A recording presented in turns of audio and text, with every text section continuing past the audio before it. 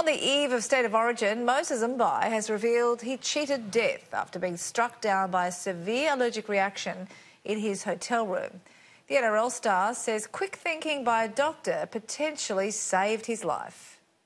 In the build up to Origin, players are kept in cotton wool, but yesterday Moses Mbye literally had to be kept alive. Felt a bit dizzy and I was thought, oh, this is probably the signs to, to allergic reaction. I was guessing. The Wests Tigers captain was returning to his hotel room after breakfast when he began showing symptoms of an anaphylactic shock.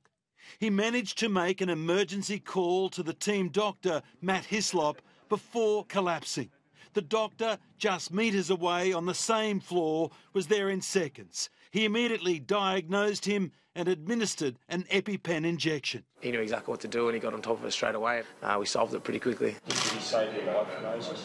Oh, potentially, yeah, potentially. Moses will have tests when he comes back to Sydney, but at this stage he has no idea what triggered the reaction and says it's never happened before. I had my brekkie and my juice. I had, it was a standard sort of day. Like it was nothing out of the ordinary. So that's, I guess that's probably the probably the worst bit. I don't know what it is yet. What the father of three does know is that he was in the right place at the right time. Handy place to, for it to happen. I'm glad I wasn't at home, to be honest. I, Mrs. wouldn't have known what to do. Cheating death, a close call, whatever it was, it was yesterday. Tomorrow is Origin, game two, and Moses will be there. I've pulled up sweet and you know, I'm ready to go. I'm going to train this morning and I'll be right to play tomorrow.